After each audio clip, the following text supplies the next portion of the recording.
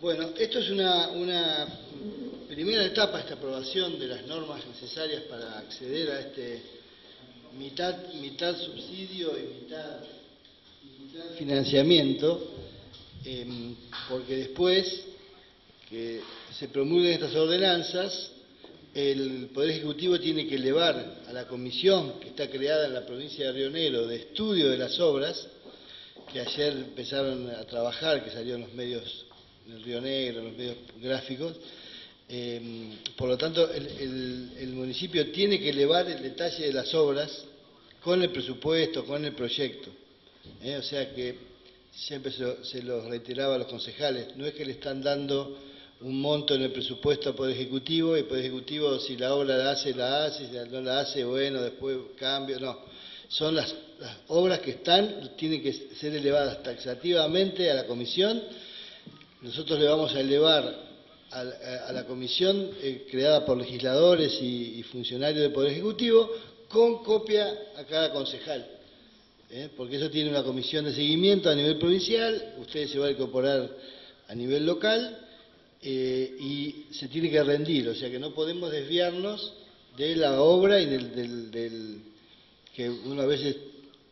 hay como una especie de desconfianza en el sentido, bueno, te apruebo el presupuesto, pero después la obra te aprueba a favor. eso está así desde el espíritu de la ley, que fue aprobada así, que tiene que ser específicamente para obras públicas o para adquisición de bienes de capital. Punto. Que es un poco lo que decía Daniel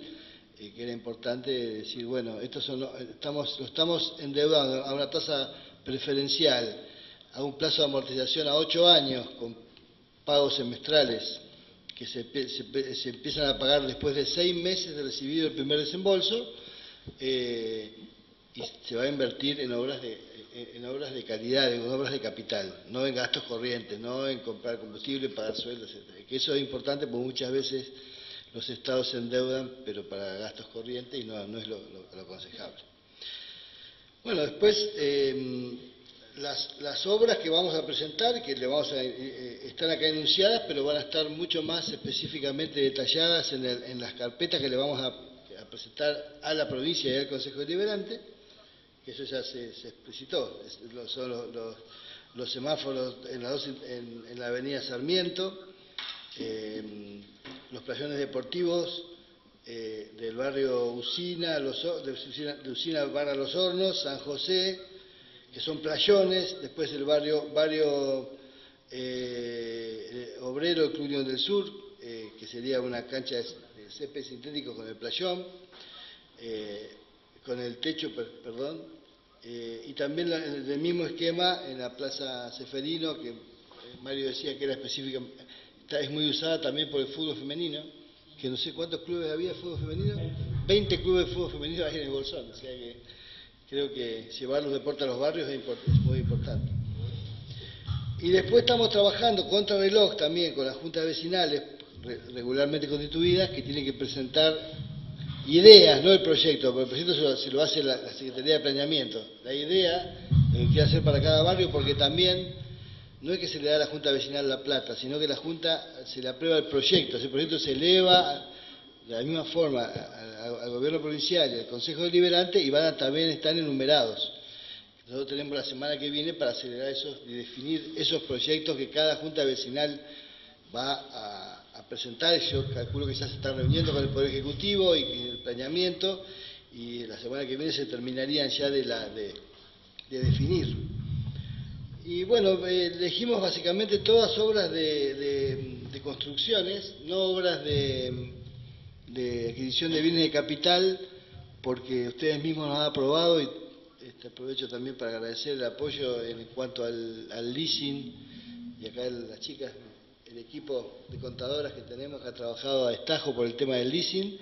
Ahí vamos a adquirir la motoniveladora este, y eh,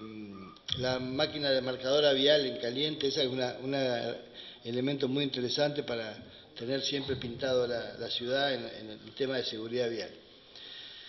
Y después, bueno, eh, son, como decían también ustedes, son pequeñas obras que generan todo mano de obra local, o sea, acá no, vamos a contratar, este, salvo el semáforo, que no, tenemos fábrica de semáforos, digamos, pero todo esto es, es de, uso intensivo de mano de obra local y de materiales locales y de, y de los proveedores locales que tenemos, ¿no? desde el cemento hasta el hormigón y, bueno.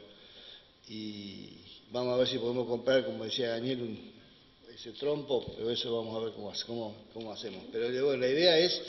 avanzar, claro, avanzar en el, en el tema del pavimento. El pavimento es importante porque nos está permitiendo, nos va a permitir este empuje financiero, empezar una rueda de construcción continua de, pavimento.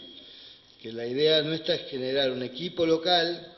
eh, de, capacitar personal local y no contratar empresas, sino hacerlo lo que lo haga el propio municipio con la, con la debida asesoramiento técnico, ¿no? Este, y por supuesto el, hormigón lo, adquirimos también localmente.